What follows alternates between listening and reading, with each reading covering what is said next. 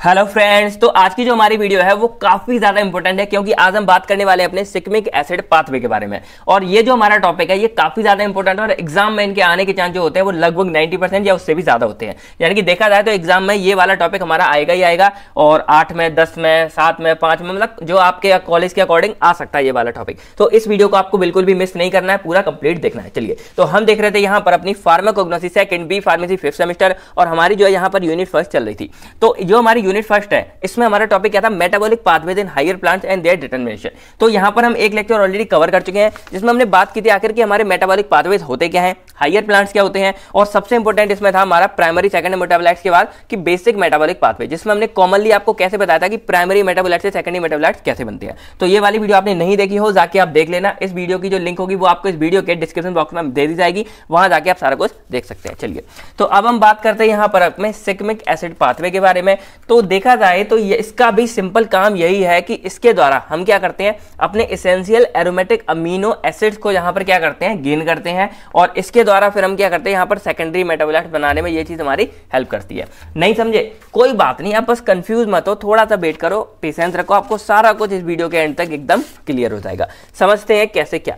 तो आपको बताता हमारे जो अमीनो एसिड्स होते हैं एक्चुअल में ये तो हमारे प्राइमरी प्राइमरी मेटाबोलाइट्स होते हैं। तो जो हमारे अमीनो एसिड या प्राइमरी मेटाबोलाइट्स हैं, इनके द्वारा हमारा क्या बनता है यहाँ पर सेकेंडरी मेटाबोलाइट तो इसको बनने में हमारी हेल्प कौन करती है? सिक्विक एसिड पाथवे उसके अलावा सबसे इंपॉर्टेंट काम, अगर आपसे कभी एग्ज़ाम वगैरह में कोई पूछता है, क्या है इसका एक्चुअल में इंपॉर्टेंट काम? तो क्या है इसका इंपॉर्टेंट काम? कि ये हमारा फॉर्मेशन या बायोसिंथेसिस करता है किसके? एरोमेटिक अमीनो एसिड्स के। और ये हमारे लिए काफ़ी ज़्यादा इंपॉर्टेंट हो जाते हैं। कौन? एरोमेटिक अमीनो एसिड अब आप पूछेंगे कैसे क्या? तो देखो, पहली बात यह है कि आपको पता है हमारी बॉडी में क्या चाहिए? हमको प्राइमरी मेटाबोलाइट जो हमारे क्या करते हैं? हमारी बॉडी में ग्रोथ डेवलपमेंट और रिप्रोडक्शन के लिए क्या करते हैं? रिस्पॉन्सिबल होते हैं हेल्प करते हैं। सिंपल सा फंडा है। तो उनको भी तो भाई बनना पड़ता है ना हमारी बॉडी में। ऐसा तो नहीं है कि एकदम अपने आप ही आ रहे हैं, अपने आप ही सही, लेकिन हमारी बॉडी में क्या हो रहा है, वो जनरेट हो रहे हैं डेवलप हो रही है। तो उसी की फॉर्मेशन एक हमारी यहाँ किसके सारे हो रही है? सिक्मिक एसिड पाथवे के सारे अब आपको एक बात और बताएँ कि ये जो हमारी चीज़ होती है, ये जो सिक्मिक एसिड पाथवे ये हमारा माइक्रो ऑर्गेनिज्म और प्लांट्स इन दोनों में क्या होता है? चलता रहता है। लेकिन ये हमारी जो ह्यूमन बॉडी या एनिमल्स बॉडी है, उसके अंदर ये नहीं होता है। अब आप सोचेंगे, भाई, इतने इसेंशियल अमीनो एसिड्स हैं। अगर ये हमारी बॉडी में बन रही हैं तो हमारी बॉडी चलेगी कैसे? तो हमारी बॉडी में भी ये आते हैं, लेकिन किसके द्वारा? डाइट्स के द्वारा। आपने देखा हो ना, हम लोग क्या करते हैं? हम लोग प्लांट्स वगैरह बहुत ज़्यादा कहते हैं ना, हरी सब्ज़ियाँ खाओ, ये सब्ज़ियाँ खाओ, ये फल फ्रूट खाओ, ये मतलब बहुत ज़्यादा हम क्या करते हैं, सब्ज़ियाँ वगैरह खाते हैं। तो उन सब्जियों में एक्चुअल में होता क्या? है सब्ज़ियाँ हमारे प्लांट्स ही होते हैं। पेड़ पौधों से ही बन के बनते हैं, भाई। हमारी गोभी हो गई, बैगन हो गए, टमाटर हो गए, आलू हो गए। देखा जाए तो एक तरह से हमारे ये क्या है? छोटे छोटे सारे प्लांट्स ही हैं, प्याज वगैरह। तो इनके द्वारा जो इनके अंदर हमारी ये एसेंशियल चीज़ें बनती हैं, इनके द्वारा हम क्या करते हैं, हम बॉडी या एनिमल्स इसको खा के और उनके अंदर भी ये सारी चीज़ें जो है पहुँच जाती हैं किसके द्वारा? डाइट के द्वारा। तो यहाँ पर देखा जाए तो जो हमारे प्लांट्स वगैरह हैं, वो इस पाथवे के थ्रू क्या कर रहे हैं? इसेंशियल अमीनो एसिड्स को फॉर्म कर रहे हैं अपने अंदर और कुछ ऐसे अमीनो एसिड्स है जो ह्यूमन बॉडी के अंदर, यानी कि एनिमल्स के अंदर नहीं बनते हैं, वो एसिड्स हम वो हम क्या करते हैं, ऐसे हम अमीनो एसिड्स को अपनी बॉडी में डाइट के द्वारा ले लेते हैं। तो ये सारा फंडा इस तरह पूरा चलता रहता है और यही रीजन है, क्योंकि हम इसको ऑप्टेन कर रहे हैं डाइट के द्वारा तो यही रीजन है कि हम इस चीज़ को यहाँ पर स्टडी कर रहे हैं, हम यहाँ पर इसकी पढ़ाई कर रहे हैं। वरना हमको क्या मतलब था भाई? कैसे प्लांट क्या कर रहे हैं? क्यों मतलब है? क्योंकि हम इस प्लांट को क्या करने वाले हैं? खाने वाले हैं और अपनी भूख मिटाने वाले हैं। तो इस चक्कर में हमको इसके बारे में सारा कुछ जो है पढ़ते रहते हैं। ठीक है? चलिए। तो अब आप समझ गए कि सिकमिक एसिड पाथवे एक्चुअल में होता क्या है, इसके द्वारा हमको मिलते क्या है? एरोमेटिक अमीनो एसिड्स मिलते हैं, जो फर्दर हमारे सेकेंडरी मेटाबोलाइट्स बनाने में हेल्प करते हैं, और इन्हीं के द्वारा जो है प्लांट्स जो हमारे एनिमल्स वगैरह होते हैं, वो क्या करते हैं एज अ डाइट इन अमीनो एसिड्स को लेते भी हैं। तो ये सारा फंडा यहाँ पर जो है चलता रहता है। अब बारी आती है कि आखिर सिकमिक ही क्यों? भाई, ये भी तो एक फंडा है कि आखिर सिकमिक नाम ही क्यों रखा गया? भाई, और भी कुछ रख सकते थे? भाई, आकाश एसिड पाथ भी रख लेते। मेरा नाम भी अच्छा है। लेकिन यहाँ आखिर सिकमिक क्यों रखा गया? क्योंकि यहाँ पर एक्चुअल में जो इसको आइसोलेट किया गया था फर्स्टली वो 1885 में किया गया था, किसके द्वारा? एक जैपनीज फ्लावर था सिकिमी और इसके द्वारा सिकमिक एसिड को यहाँ पे क्या किया गया था? आइसोलेट और फिर इसका जो है यूज़ वगैरह किया गया था। अब बात आती है, यहाँ पर सिकमिक एसिड आ गया, लेकिन यहाँ पर बात हो रही है, यहाँ तो हमें अमीनो एसिड मिल रहे थे। तो जो हमारा सिकमिक एसिड पाथवे एक्चुअल में, इसमें बीच में हमको क्या मिलता है? Shikimic acid. और ये एज अ इंटरमीडिएट यूज़ होता है। और इसके द्वारा आगे जाके फर्दर हमारा और सारी चीज़ें हमको बनती है। इसको मैं आगे अभी आपको समझाऊँगा। तो इस वजह से इस पूरे का नाम क्या पड़ता है? यहाँ पर सिकमिक एसिड पाथवे यानी कि यहाँ पर क्या इन्वॉल्व हो रहा है?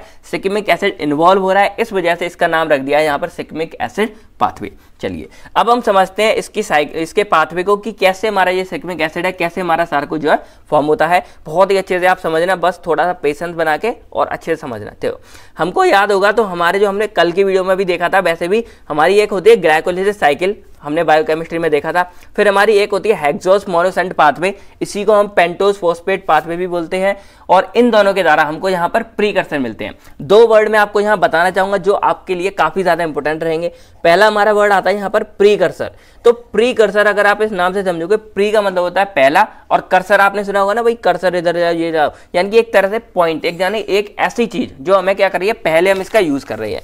यानी कि अगर मैं सिंपली लैंग्वेज में आपको बताऊँ तो प्रीकर्सर एक हमारा ऐसा मतलब स्टार्टिंग का मेटेरियल है जिसके द्वारा हम आगे की चीज़ों को बना रहे हैं। तो यहाँ पर देखा जाए तो जो हमारी सिक्मिक एसिड पाथवे है, इसमें हमारे दो प्रीकर्सर हैं। पहला हमारा है इराइथ्रोज फोर फॉस्फेट और दूसरा हमारे यहाँ पर क्या है? फॉस्फो इनोल पायरेट और इन दोनों के मिलके, इन दोनों को जब हम जोड़ते हैं, इसके बाद हमारी जो है सिक्मिक एसिड पाथवे जो है स्टार्ट होता है। तो इस वजह से इन दोनों को क्या बोला जाता है? यहाँ पर प्रीकर्सर अब कभी जैसे एमसीक्यू या कहीं एग्ज़ाम में आपसे पूछ सकते हैं कि what is the precursor in shikimic acid pathway तो आप बता सकते हैं कि इराइथ्रोज फोर फॉस्फेट और फॉस्फो इनोल पायरेट यानी कि इसको हम बोलते हैं पीईपी तो ये हमारे कहलाते हैं प्रीकर्सर। अब एक और क्वेश्चन आप लोगों के लिए आता है what is the building block जैसे कभी आपके सामने पूछा जा सकता है बिल्डिंग ब्लॉक्स क्या होते हैं? तो अगर नॉर्मली देखा जाए, मैं इससे आपको समझाऊँगा, वैसे अगर नॉर्मली देखा जाए तो बिल्डिंग ब्लॉक्स क्या होते हैं? जैसे मान लो आपकी कोई बिल्डिंग वगैरह बनी है तो बिल्डिंग किससे मिलकर बनी है? आपकी छोटी छोटी ईंटों से मिलकर बनी है। तो वहाँ पर जो आपकी ईंट हो गई वो आपकी क्या हो गई? ब्रिक्स जो हो गई, ईंटा इंग्लिश वाले समझ लो तो वो हमारे क्या हो गई? बिल्डिंग ब्लॉक्स हो गए एक्चुअल में।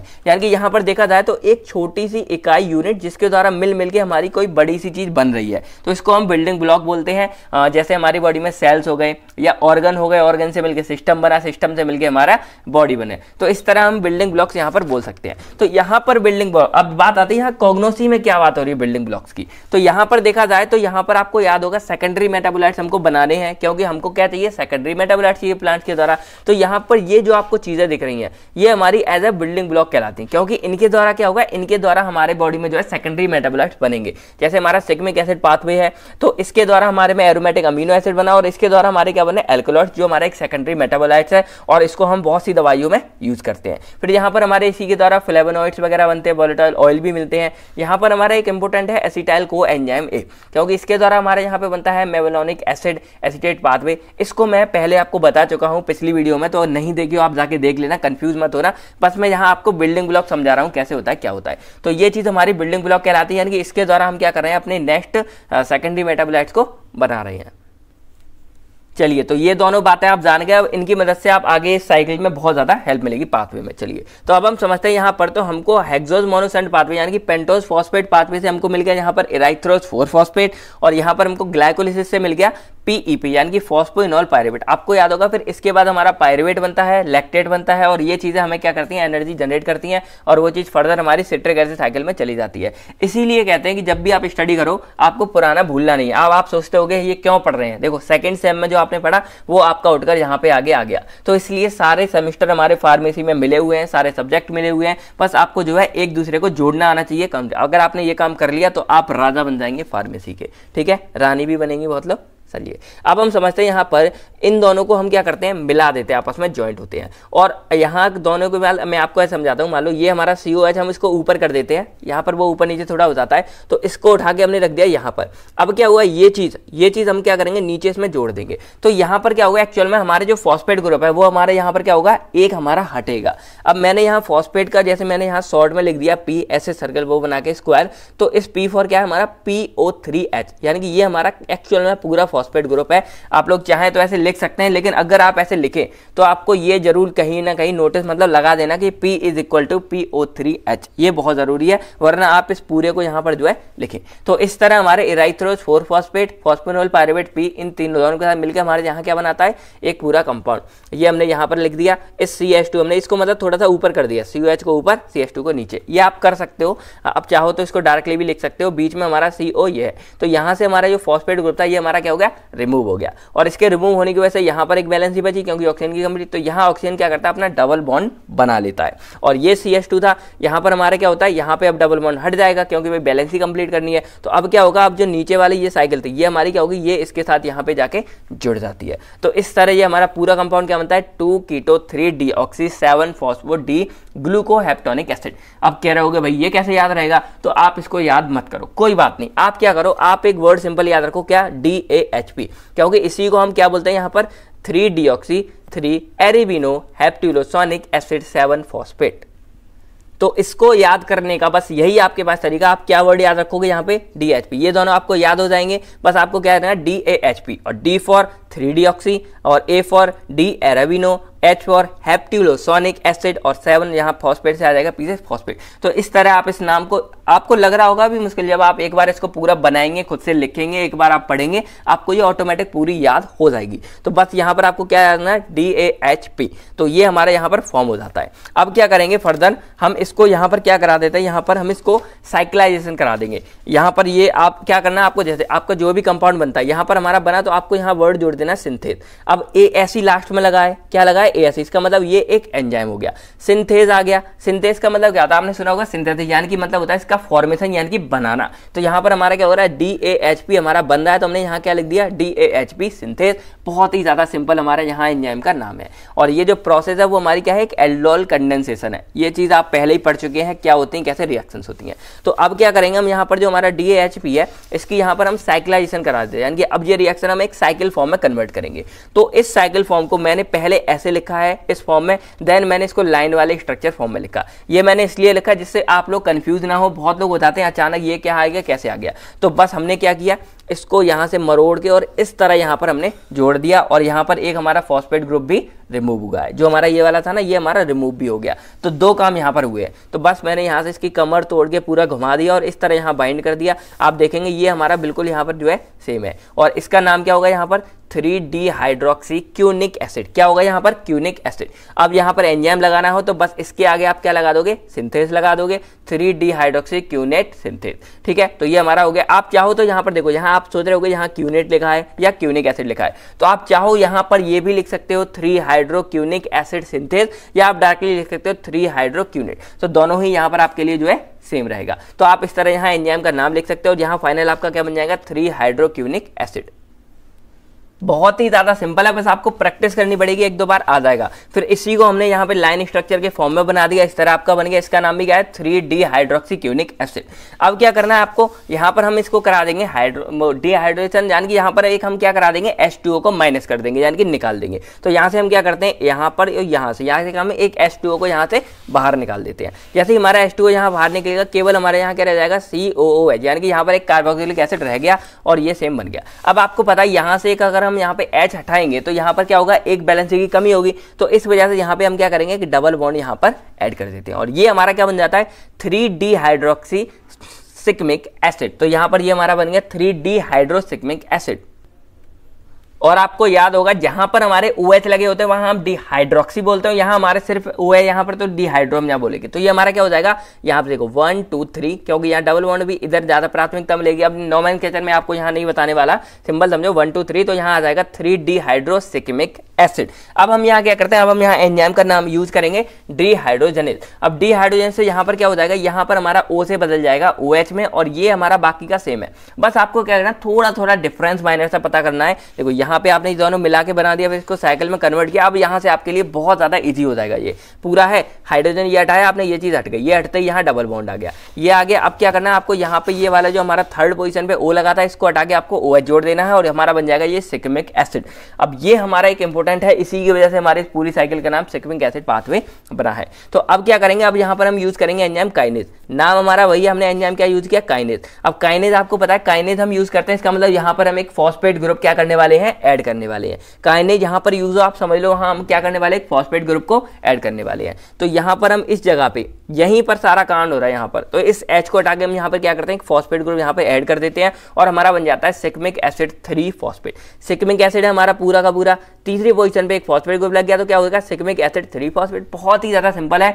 और यहाँ पर मैंने हाईलाइट भी कर रखे नाम को क्योंकि ये नाम आपके लिए, जैसे कभी एग्ज़ाम में होता मान लो शॉर्ट में आ गया तो आप सबके स्ट्रक्चर ना बना पाए तो ये नाम आपको ज़रूर बनाना है। बाकी अगर ये सात में आता है या दस में आता है तो आपको इसके स्ट्रक्चर भी बनाना है, तभी आपको मार्क्स जो है इसके कंप्लीट मिलेंगे। ज़्यादा हार्ड नहीं है, क्योंकि स्ट्रक्चर अगर आप बनाएँगे तो आपको इससे जो है याद करने में आसानी हो जाएगी। क्योंकि आप क्या करें, यहाँ पर थोड़ा थोड़ा सा इसको मॉडिफाई करते जाएँगे, आपके लिए नया स्ट्रक्चर बनता जाएगा। तो हमारे यहाँ पे क्या बन गया? यहाँ पर finally shikimic acid three phosphate बन गया। अब यहाँ पर हम क्या करा देते हैं? अब यहाँ पर हम फॉस्फोइनोल पायरवेट एक और साथ में लेते हैं। वैसे ये स्टेप बहुत लोगों ने मिस कर रखा है, मैंने यहाँ इसलिए बताया है जिससे आपको कॉरिस्मिक एसिड में कोई प्रॉब्लम ना हो। तो यहाँ पर हम क्या करते हैं, अपना फॉस्फोइनोल पायरवेट के साथ यहाँ पर और एक मतलब रिएक्शन कराते हैं और इस पोजिशन पे यहाँ पे फॉस्फेट को जुड़ गया था। इस वाली पोजिशन पे हमारा क्या होता है? पीईपी e यानी कि फॉस्फोइनोल पायरवेट ग्रुप जुड़ जाता है। जो हमारा क्या था? ये था। आपको दिख रहा होगा फॉस्फोइनोल पायरवेट ग्रुप तो अब मैं आपको दिखाता हूँ यहाँ पर कैसे हुआ, क्या हुआ। तो देखो, ये हमारा पूरा सिग्मिक एसिड था, ये वाला पूरा का पूरा। ये ऑक्सीजन पे हमारा एक हाइड्रोजन हटा और यहाँ पर क्या हुआ? ये देखो पी था ना, इसको यहाँ पे हटा के और ये ओ हमारा क्या हुआ? यहाँ पे जाके तरह जुड़ गया। कार्बन का कार्बन है यहाँ पर। Double one C S two और सी ओ एच यानी कि यहाँ पर पूरा हमारा फॉस्पोनोल पायरेट वाला जो ग्रुप था, वो हमारा यहाँ पे जाके क्या हो गया? अटैच हो गया। और अब हमारा ये कंपाउंड क्या बन गया यहाँ पर? Three enol pyruvyl shikimic acid five phosphate यानी कि नाम वही हमारे मिलते जुलते हैं, बस जो चीज़ हमारी ऐड होती जा रही है, उसके बारे में हम थोड़ा बहुत यहाँ पे लगा देते हैं। तो यहाँ पर अब हमारी नंबरिंग इधर हो जाएगी, क्योंकि ये हमारा एक बड़ा ग्रुप है। वन टू थ्री इसको प्रायोरिटी ज़्यादा मिलेगी। तो थ्री इनॉल इनॉल हमारा है इनॉल पायरविल हो गया हमारा, फिर पूरा हमारा सिकमिक एसिड था, और अब ये पाँचवें पे हो जाएगा। One two three four five तो पाँच फॉस्फेट फॉस्फेट ग्रुप लगाए बहुत ही ज़्यादा इजी है। और एंजाइम लगाना, आपको ये पूरा नाम यहाँ लिख देना, फिर आपको क्या लगा देना आगे? सिंथेस और ये हमारा कंप्लीट यहाँ पर बन जाएगा। अब हम यहाँ पर यूज़ करते हैं अपना कॉरस्मेट सिंथेस और इसके द्वारा हमारा, इससे क्या बनेगा? अब हमारे इससे बनता है कॉरस्मिक एसिड तो यहाँ पर देखो कॉरस्मिक एसिड में हुआ क्या? बस एक फॉस्फेट ग्रुप हमारा क्या हो गया? रिमूव हो गया। तो क्या हुआ? हमने यहाँ से ये वाला फॉस्फेट हटा दिया, और ये हमारा पूरा का पूरा क्या बन जाएगा? बचा हुआ कॉरस्मिक एसिड बन जाएगा। बहुत ही ईजी अगर आप स्ट्रक्चर का यूज़ करेंगे तो बहुत ज़्यादा आसान हो जाएगा आप लोगों के लिए। तो बस हमारा क्या बनेगा कॉरिस्मेट एसिड और इसी को हम कॉरिस्मेट नाम से भी जानते हैं और इसीलिए यहाँ पर क्या आ जाता है कॉरिस्मेट सिंथेस आप इसको चाहो तो डायरेक्टली ले सकते हो कॉरिस्मिक एसिड सिंथेस बहुत ही ज़्यादा ईजी है। तो इसके द्वारा हमारे यहाँ क्या बन जाता है कॉरिस्मिक एसिड बन जाता है। अब यहाँ पे जाके हमारा ये जो है हमारा, ये हम कह सकते हैं, जैसे एक्सपेक्टर बोलते हैं ना, एक जो सारा का सारा गेम बदलता है, सारा मेन हो जाता है एक तरह से। और जिसे हम कॉलोजी में थ्री सोल्ड बोलते थे, यहाँ पर हमारा ये है जो इंपोर्टेंट इंटरमीडिएट है और यही सारे के सारे काम यहाँ पर परफॉर्म करेगा। तो जो हमारा कॉरिस्मिक एक्टिव है एसिड है, ये क्या करेगा? ये हमारा फर्दर यहाँ पे ऐसे तीसरी चीज़ भी मैंने आपके लिए यहाँ दो चीज़ें रखी हैं थोड़ा आसान बनाने के लिए। तो यहाँ पर एक हमारा अब ये कॉरिस्मिक एसिड है, ये हमारा क्या बनाता है? एंथ्रानिलिक एसिड और एक तरफ़ ये हमारा बनाता है यहाँ प्रीफेनिक एसिड अब किसके द्वारा क्या बना रहा है? तो जो हमारा यहाँ पर एंथ्रालिक एसिड है, ये हमारा हो जाएगा एंथ्रालिक एसिड सिंथेस और यहाँ पर हमारा बनाना है प्रीफेनिक एसिड तो ये हमारा किसके द्वारा बनाता है? जो हमारा ये कॉरिस्मेट है, इसी को हम म्यूटेज कर देंगे। तो यहाँ पर हमारा क्या बन जाएगा? कॉरिस्मेट ब्यूटेन हुआ क्या? अंतर क्या हुआ यहाँ पर? तो जो हमारा एंथ्रानिक एसिड है, यहाँ पर आपको याद होगा तो टू ग्रुप हमारा यहाँ होता है, अगर आपको पहले से याद होगा इसका डायग्राम तो तो सिंपल हमारे यहाँ क्या बन जाता है? ये कंप्लीट हो जाती है साइकिल और हमारे यहाँ बन जाता है एंथ्रानिक एसिड यहाँ हमारा जुड़ जाता है कमीन ग्रुप टू अब ये वाला जो हमारा फंडा है, यहाँ पर हमारा क्या लगता है? यहाँ पर हमारा पूरा का पूरा ये सिस्टम थोड़ा सा बदल के और यहाँ हमारा बन जाता है प्रीफेनिक एसिड अब यहाँ पे थोड़ा सा चेंज हुआ है तो इसको आप एक बार याद करेंगे, आपके लिए बहुत ज़्यादा आसान हो जाएगा. तो ये दोनों हमारे बन गए हैं. अब यहाँ पर क्या करते हैं? इसके द्वारा जो एंथ्रानिक एसिड है, ये हमारा फर्दर और दो चार बार चीज़ें कर करके कर करके हमारा फाइनली क्या अगर एक तरह से देखें तो जो हमारा एंथ्रानिक एसिड है, ये हमारा क्या है? एज अ प्रीकर्सर यूज़ होता है ट्रिप्टोफैन के लिए। अब आपको याद हो प्रीकर्सर मैंने आपको बताया था स्टार्टिंग में यानी कि अब इसके द्वारा जो हमारा एक नया पाथवे स्टार्ट हो रहा है, जिसके द्वारा हमारा फाइनली क्या बनेगा यहाँ? ट्रिप्टोफैन और ये हमारा बहुत ही ज़्यादा इंपॉर्टेंट हमारा एक अमीनो एसिड है, जो आगे जाके बहुत ज़्यादा परफॉर्म करता है एक्टिविटी वगैरह हमारी बॉडी में। तो ये बहुत ज़्यादा ज़रूरी है प्लांट्स के लिए भी और हम लोगों के लिए भी। तो ये हमारा हो गया ट्रिप्टोफैन देन हमारा यहाँ पर ये जो कॉरसमेट है, इसके द्वारा हमारा कॉरसमेट म्यूटेज के द्वारा क्या बनता है? प्रीफेनिक एसिड बनता है। अब इसके द्वारा हमारे यहाँ पर फर्दर दो चीज़ें फॉर्म होती हैं। प्री इसके द्वारा एक हमारा बनता है फिनाइल पायरविक एसिड और एक हमारा बनता है four hydroxy phenyl pyruvic acid अब फिनाइल पायरविक एसिड दोनों में पर यहाँ पर क्या लगा है? फोर हाइड्रोक्सी यानी कि सिंपल देखो, आपको एक ये डायग्राम याद रखना है। और ये डायग्राम हमारा फर्दर यही चीज़ है C S two C double one O C S two यानी कि जो हमारा प्रीफेनिक एसिड में था, वही हमारा यहाँ पर है। ये हमारा हट क्या है, बस हुआ क्या यहाँ पर? जो हमारा फिनाइल पायरेविक एसिड है। इसमें क्या हुआ हमारा इधर साइड में कोई भी चीज़ हमारी नहीं है। तो ये हमारा हो गया फिनाइल पायरेबिक एसिड। सिंपल, ऊपर आपको याद हो जाएगा, एक ही सेम हमारा C S two C double one O C O H यहाँ पर हमारा है four hydroxy phenyl pyruvic acid यानी कि वन टू थ्री फोर इधर से भी जोड़ लो तो चौथी पोजिशन पे हम क्या करेंगे? एक हाइड्रोक्सी ग्रुप जोड़ देंगे। मैंने आपको पहले ही बताया हाइड्रोक्सी मतलब ओ एच तो यहाँ पर हम क्या जोड़ देंगे? फोर पोजिशन पे एक O H group O H लग जाएगा, हमारा हो जाएगा four hydroxy phenyl pyruvic acid दोनों के दोनों हमारे सेम है। एंजाइम यहाँ पर हम यूज़ करेंगे यही प्रीफेनेट यानी कि जो हमारा प्रीफेनिक एसिड इसको हम प्रीफेनेट बोलेंगे तो ये हमारा हो जाएगा प्रीफेनेट डी हाइड्रोक्सीटेज यहाँ हो जाएगा डी हाइड्रोक्सी सनीज हो जाएगा। सिंपल सा फंडा है, चलिए। अब ये दोनों जो हमारे बन जाते हैं, ये हमारे क्या करेंगे? फर्दर यहाँ पर अमीनो ट्रांसफ़र है, यानी कि यहाँ पर क्या होगा? अमीन ग्रुप का आदान प्रदान होगा और अमीन ग्रुप हमारे यहाँ जाके अटैच हो जाएगा। और इसके द्वारा यहाँ हमारा बन जाएगा फिनाइल एलेनिन और यहाँ हमारा क्या बन जाएगा? टायरोसिन। और ये दोनों जो हमारे कंपाउंड है, ये हमारे काफ़ी ज़्यादा इंपॉर्टेंट है और ये हमारे एज अ प्रीकर्सर यूज़ होंगे फिनाइल प्रोपेनोइड के लिए। और जो हमारा फिनाइल प्रोपेनोइड है, ये हमारा फर्दर किसमें यूज़ होगा? हमारे फ्लेमोनोइड्स बनाने में, हमारे यहाँ पर लिग्निन बनाने में, टेनिन बनाने में, कॉमरिन बनाने में। तो ये हमारे काफ़ी ज़्यादा इंपॉर्टेंट सेकेंडरी मेटाबोलाइट्स हैं और इनका यूज़ हमारी बॉडी मतलब दवाइयों में भी बहुत ज़्यादा यूज़ वगैरह किया जाता है। आपने सुने भी होंगे टेनिन फ्लेवोनॉइड्स और फोर सेम में भी आपने स्टडी वगैरह की होगी। तो इन सबको बनाने के लिए देन हमारे ये एज अ प्रीकर्सर जो है यहाँ पर यूज़ किए जाते हैं। तो ये हमारे तीन चार यहाँ पर बहुत ही ज़्यादा important amino acid sorry aromatic amino acid यहाँ हमारे बनते हैं, जो काफ़ी ज़्यादा इंपॉर्टेंट है। आई होप आप लोग को सारा कुछ जो है समझ आ गया होगा। तो यही था हमारा एक्चुअल में पूरा का पूरा सेगमेंट एसिड पाथवे आप एक बार और इस चाहे वीडियो को देख सकते हैं, आपका रिविजन हो जाएगा और आपको सारा कुछ समझ आ जाएगा। स्लो लगे तो आप उसमें जो है थोड़ा वीडियो को फास्ट करके देख सकते हैं। तो वीडियो कैसी लगी आप कमेंट करके ज़रूर बताइएगा। बाकी इसके नोट्स आपको नेक्स्ट मॉर्निंग वही हमेशा की तरह टेलीग्राम ग्रुप में मिल जाएँगे। यूनिट कंप्लीट होते ही आपको वेबसाइट पर मिल जाएँगे। तो बस आज की वीडियो में इतना ही। आई होप आपको सारा कुछ समझ आ गया होगा। अगर आपको कोई भी फर्दर डाउट्स है तो आप कमेंट करके हमें पूछ सकते हैं। तो मिलते हैं आपसे बहुत ज़्यादा तब तक friend thank you take care and अपना और अपनी फैमिली का ख्याल रखेगा बाय बाय जय हिंद दोस्तों।